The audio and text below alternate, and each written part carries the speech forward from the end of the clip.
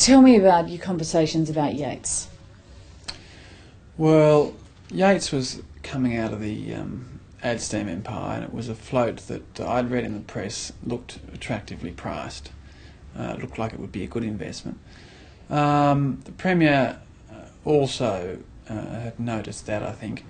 Um, a keen gardener, the Premier is, I'm not sure if that was a driver, this is a garden products group, but uh, quite late in the piece, um, after he'd obviously seen the recent successes of his investments in Woolworths, Seven, and Guangdong, quite late in the piece he asked me if I could get hold of a prospectus for Yates.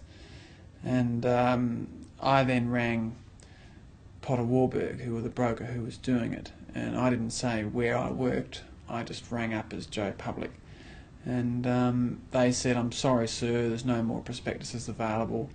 Um, the float is fully taken, um, and we can't give you a prospectus, and there are no more shares for for anyone." So I then told the Premier that I couldn't get hold of a prospectus in Yates. And um, he asked me who the broker was doing it, and I said, well, it's Potter Warburg. And then uh, I think uh, he asked me who the chairman of Potter Warburg was, and I said, uh, oh, actually, well, it's Laurie Cox. Uh, I pointed out that Laurie works or sits on the Premier's um, Business Roundtable, which is a grouping of sort of 20 business leaders in Melbourne who uh, I think it was 2015 to 20, who advised the Premier in sort of monthly breakfasts. And uh, Laurie was sitting on that as chairman of the stock exchange, the Australian Stock Exchange at the time. And um, so I sort of suggested, well, you know, you could try Laurie. And um, the Premier said, yeah, I'll give Laurie a call. So uh, he went back to his office, and uh, I think he came back around half an hour to an hour later again, quite excited. This was another coup. And he said, I've spoken to Laurie and he's given me 20,000 shares at, uh, at $1 each. So uh, that's another $20,000 investment. That was the last I heard of it. Um, I didn't talk to him about it again. I, I, noticed when they came on at a 35% premium or something that uh, that they were you know a good investment, but I can't recall speaking to him about that. But I just remember him sort of coming back round to where we sit excitedly, telling me that yes, he'd rung Laurie and Laurie had promised him 20,000 shares. So it was you who'd suggested that he ring Laurie Cox? Well, it was sort of, yeah. We, um, I tried to get a prospectus and then we had a discussion and we sort of said, who, he asked who the chairman is and I said the chairman's Laurie and, you know, and then I think I said you could ring Laurie Cox. Um, and uh, and the premier said, "Yes, I think I'll do that." And he went off and rang him, and uh, and uh, bingo. Did you think it was appropriate for the premier to be ringing Laurie Cox? No, well, I felt uncomfortable about this at the time, and um, I then actually raised this issue with uh, Alistair Drysdale, who's his chief advisor, and I said that I didn't think it was appropriate that uh, the premier be ringing people like this to get large allocations in floats. And um, and Alistair agreed and said that, that uh, he'd spoken to him about it. And uh, that was the last I ever heard of um, of the Premier buying into floats. Uh, by ringing people and getting large allocations. But, uh, but, you'd had no qualms suggesting that he make that phone call.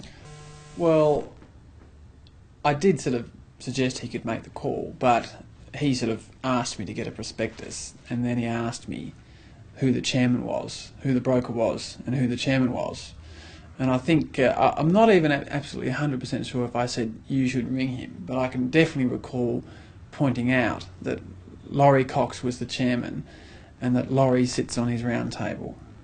I can, you know, as to, I mean, I, th- I think I might have said you could try Laurie Cox, uh, or, you know, Laurie Cox is the chairman, you could try him, he sits on your round table type thing.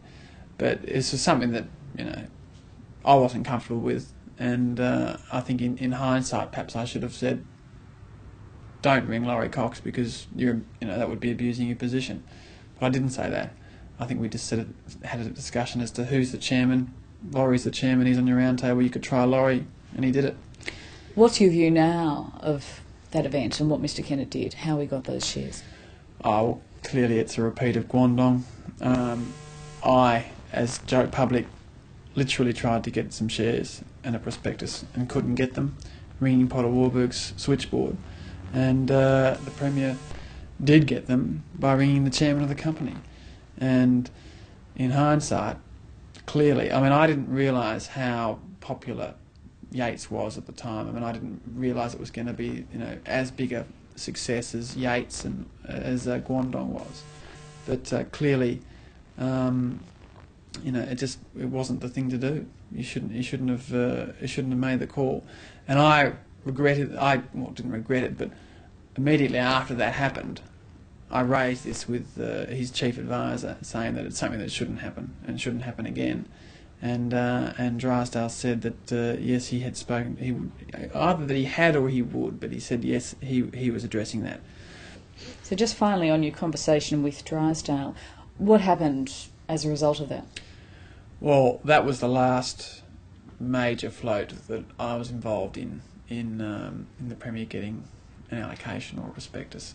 We still talked about the market at length, but I think the Premier was moving towards the view that the market was getting overvalued and that he he was going to sell the lot and take his profits. And uh, I think he did do that subsequently in 1994 later on. So we still talked about the market right up to the day I left, in which was sort of nine months after Guangdong and Yates.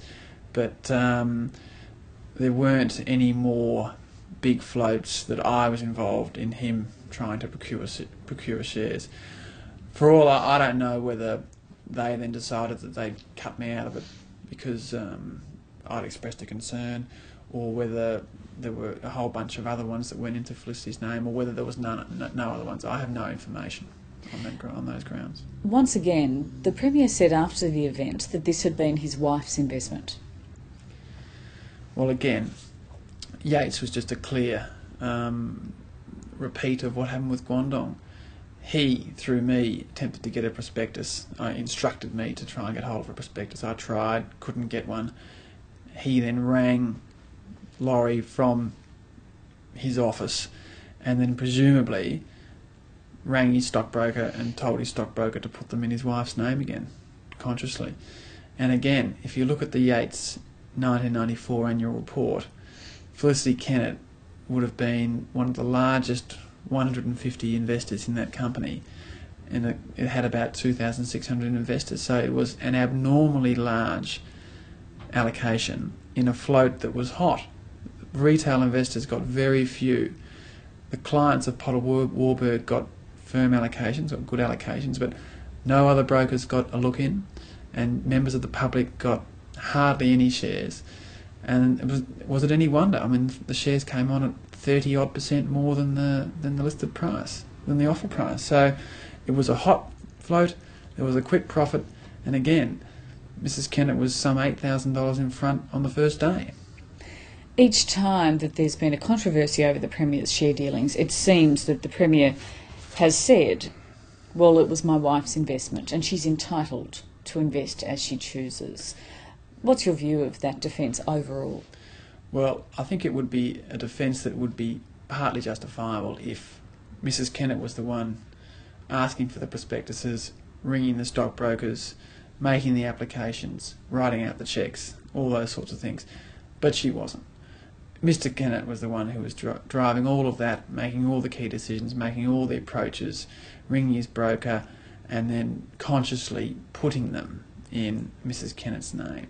So I just think that it, it was an act of, of uh, it was a considered decision to make it out as if it was Mrs. Kennett's investment, when clearly Mr. Kennett was doing all the decision making.